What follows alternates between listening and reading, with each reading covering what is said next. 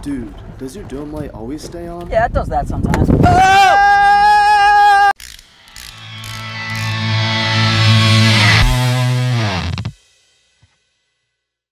Oh, oh my god.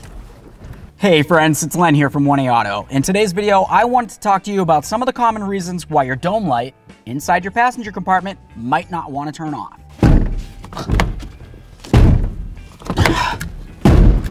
Finally.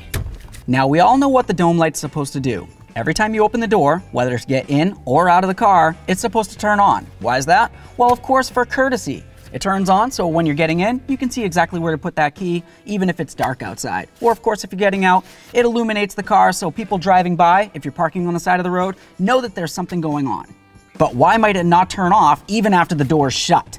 Well, sometimes on people's dashes, they're gonna have a little dimmer switch here. And of course, if you go all the way up, that's not only gonna make it so your dash lights turn up, but it's also gonna make it so the dome light turns on. And of course, that's gonna be handy if you're trying to do something inside your car, but you don't wanna have the door open. So if your dome light's stuck on, just check that dimmer switch and make sure it's not on the dome light on position.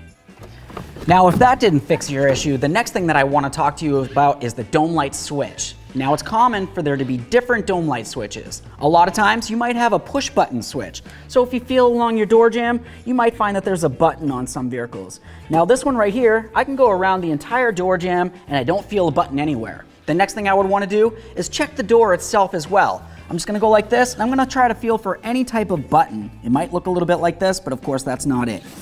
I don't feel anything along this, and especially inside the door jamb. So that tells me that this one doesn't actually have the door button. It must have an issue with the switch that's located inside the latch. The way that you can tell if you have a latch switch is if I was to come right inside here and I pull on this like this. That's gonna essentially tell the door that it's in the shut position, and that should also tell the dome light to go ahead and turn off. Now, whether you have the push button switch or even the door latch switch, if for some reason it isn't working or not making it so your dome light actually turns off, that's not telling you that you have an issue with wiring typically. That's telling you that you're having an issue with the interrupter that's part of the switch. Now, let's say that you go ahead and test it though. You come over to the push button and you press it in. The dome light turns off. Okay, that's a little weird. Or maybe you don't have the push button, you come over to the latch, you put in your screwdriver along here, you latch it in, like as if it's in, the dome light turns off. Okay, it just wasn't working when I actually shut the door. Unbelievable. So, what would cause this?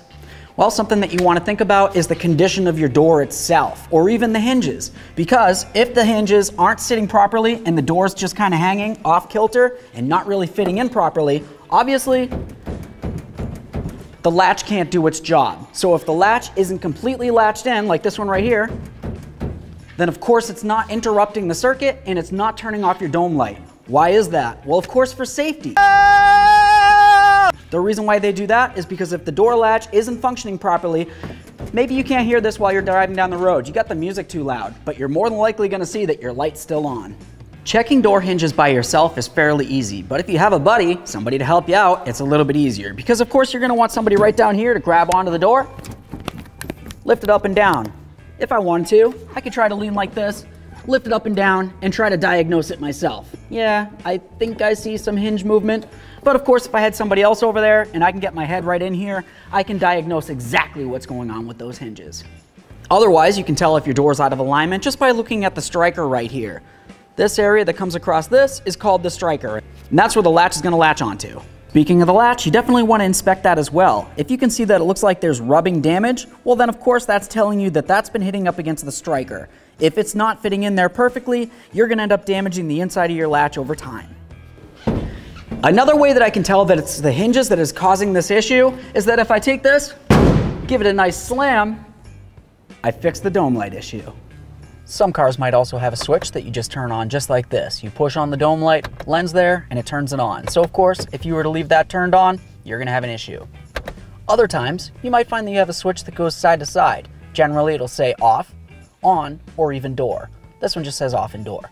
But of course, if there was an on switch on it, and you were to turn it on and leave it on, the dome lights are gonna be stuck on as well.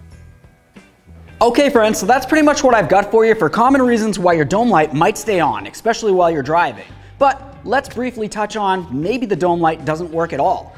Commonly, that's gonna come down to an electrical issue. So the first thing that I would wanna do is check that bulb. Look on the inside. If it looks like the filament's burnt, or even if the glass looks like it's black or discolored in any way, go ahead and replace that bulb. Let's assume that the bulb's good though. You checked it or even replaced it. It still doesn't work. The next thing I would wanna do, if you have a power probe of any sort, you can go ahead and test the power at the circuit right up in there. If you have power there, well then you know that it's still probably an issue with the bulb or even the connection points that connect onto the bulb. But if you don't have power there, you're gonna have to keep searching. Commonly, there's gonna be a relay of some sort, and of course there's more than likely gonna be a fuse because every electrical circuit has to have a fuse. It only really makes sense. Go ahead and check that fuse. That's more than likely burnt if for some reason your dome light isn't turning on. Aside from that, let's assume that that's all good. It could still come down to a switch issue or even the fact that, like I said before, the door just isn't sitting right. But more commonly, if the door isn't sitting right or if it's a switch issue, it's probably just gonna be stuck on. Okay, well, I hope you liked the video. I hope you learned a little something. If you did and you wanna talk about it, leave it in the comment section below because I always love to hear from you. Of course, if you like the video or you love the video, please feel free to smash on that like button for me. It mean the world. While you're at it, go ahead and subscribe, ring the bell. That way there you can be kept up with all of our latest content. Thanks.